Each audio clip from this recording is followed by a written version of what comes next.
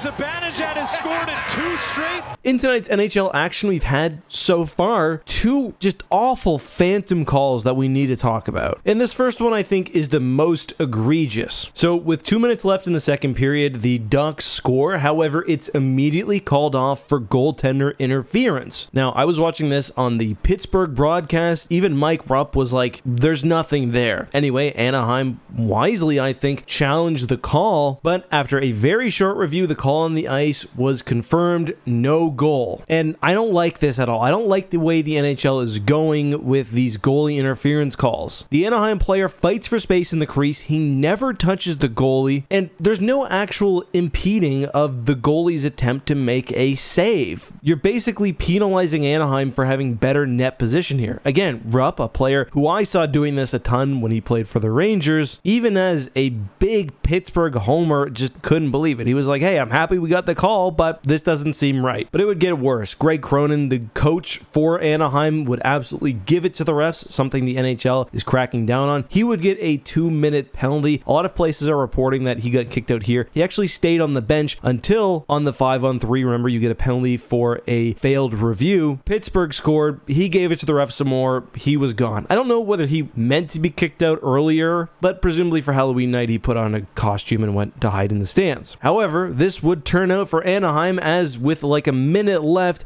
McTavish would escape the pucks as if he wasn't just let out on the end of a five on three, get the puck, go down the ice, and ice it for the Ducks. I've got to say, the box rush breakaway has got to be one of the most exciting moments in hockey, but great for Anaheim. However, something very similar happened in the Rangers game. Well, sort of similar. Near the end of the third, a hard fought game that was 2 2, Lindgren gets called for a trip that simply doesn't exist. His stick is in the area, but he doesn't come close to touching the Winnipeg player's skate. But this would give Winnipeg a chance to ice the game not only in regulation, but they'd go on the 4 on 3 in overtime. The Rangers would do some great penalty killing, and guess what? They would end up winning in overtime as well. Very exciting moment. I don't know about you, but when my team gets a bad call, it's like the quickest way for me to hate the opposing team, even though they had nothing to do with it. Like, I was feeling some real vitriol towards the Jets here. Anyway, a bad night for referees so far, but if you think this is just honky, it's not. Check out the video we put out today on my NFL channel, Peak Football, all about the issues that league has been having, which honestly are probably even worse.